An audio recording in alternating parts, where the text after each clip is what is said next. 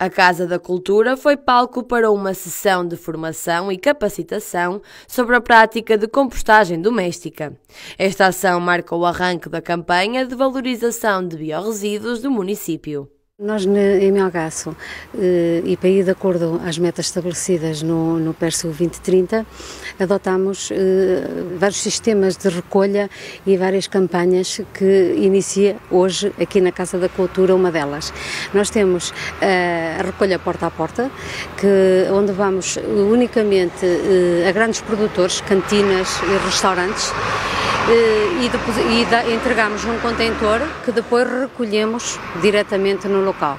Depois temos a compostagem doméstica, que, está destinada principalmente a particulares, exclusivamente a particulares que tenham moradias e que tenham condições efetivamente para fazer a compostagem. E depois, por fim, temos para o público em geral que não tem onde fazer compostagem e onde vamos ter eh, contentores distribuídos pela rua e que vamos fornecer eh, baldes eh, pequeninos para as pessoas eh, depositarem os seus resíduos biodegradáveis, os biorresíduos, nesses mesmos contentores. E aí já optamos pela eh, situação da proximidade.